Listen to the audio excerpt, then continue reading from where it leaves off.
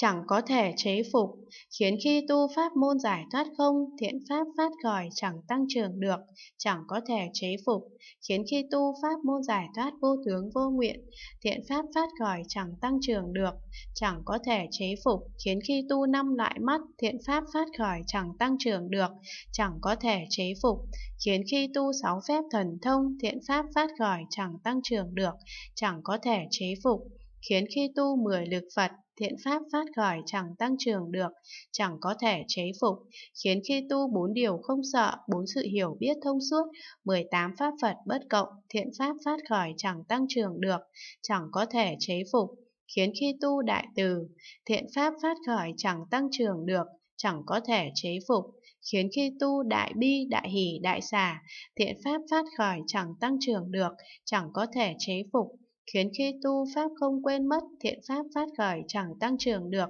chẳng có thể chế phục, khiến khi tu tánh luôn luôn xả, thiện pháp phát khởi chẳng tăng trưởng được, chẳng có thể chế phục, khiến khi tu trí nhất thiết, thiện pháp phát khởi chẳng tăng trưởng được, chẳng có thể chế phục, khiến khi tu trí đạo tướng, trí nhất thiết tướng, thiện pháp phát khởi chẳng tăng trưởng được. Vì vậy, này thiện hiện, Đại Bồ Tát nên hành bát nhã ba la mật đa sâu xa như thế. Bấy giờ cụ thọ thiện hiện bạch Phật, bạch Thế Tôn Đại Bồ Tát vì thiện căn, nên hành bát nhã ba la mật đa sâu xa chăng?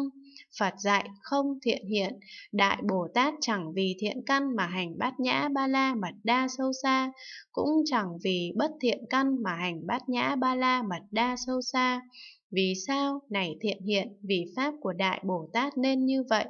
Nếu chưa, cung kính cúng dường chư Phật, chưa viên mãn thiện căn thủ thắng, chưa được nhiều chân thiện hữu nhiếp thọ,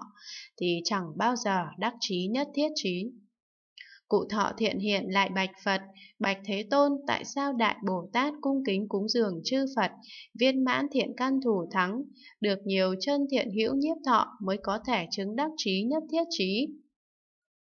Phật dạy, này thiện hiện, các đại Bồ Tát từ khi mới phát tâm cung kính cúng dường vô lượng như lai ứng tránh đẳng giác,